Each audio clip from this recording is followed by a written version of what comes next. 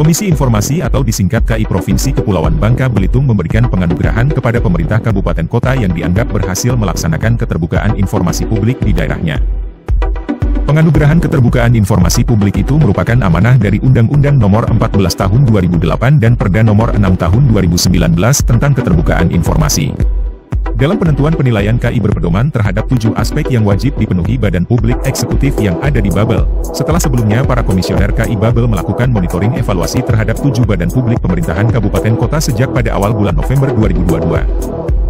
Wakil Ketua KI Babel, Riki Fermana menyebutkan aspek penilaian yang dilakukan pihaknya itu berdasarkan Peraturan Komisi Informasi Nomor 1 Tahun 2022 tentang monitoring dan evaluasi. Dia menyebutkan, salah satu aspek yang dinilai adalah kreativitas badan publik menciptakan layanan digital, yang memudahkan akses masyarakat untuk mendapatkan informasi. Tentunya kita memberikan apresiasi kepada badan publik yang mendapatkan klasifikasi informatif. Inti daripada kegiatan ini adalah mewujudkan transparansi badan publik dalam membangun menuju tata kelola pemerintahan yang good dan clean government, ujar Ricky. Adapun pemenang klasifikasi atau kategori Badan Publik Eksekutif Informatif dengan peringkat 1 Pemkot Pangkal Pinang, peringkat 2 Pemkap Belitung Timur, peringkat 3 Pemkap Belitung, peringkat 4 Pemkap Bangka Barat dan peringkat 5 Pemkap Bangka Tengah. Sedangkan kategori Badan Publik Pemerintahan menuju informatif diraih dengan peringkat 6 Pemkap Bangka dan peringkat 7 Pemkap Bangka Selatan.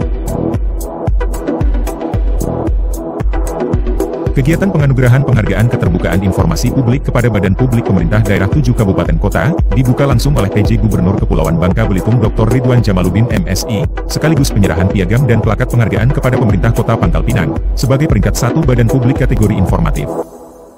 Malam penganugerahan penghargaan keterbukaan informasi publik kepada tujuh kabupaten kota, selain PJ Gubernur Kepulauan Bangka Belitung, tampak hadir Komisioner Komisi Informasi Pusat, Syawaludin SPDMH juga berkesempatan memberikan sambutannya, dan PPID Utama Pemprov Babel Dr. Naziarto SHMH, beserta jajaran OPD Pemprov Babel lainnya.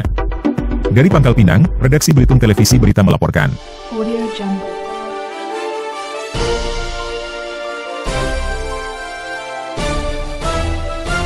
Audio Jungle.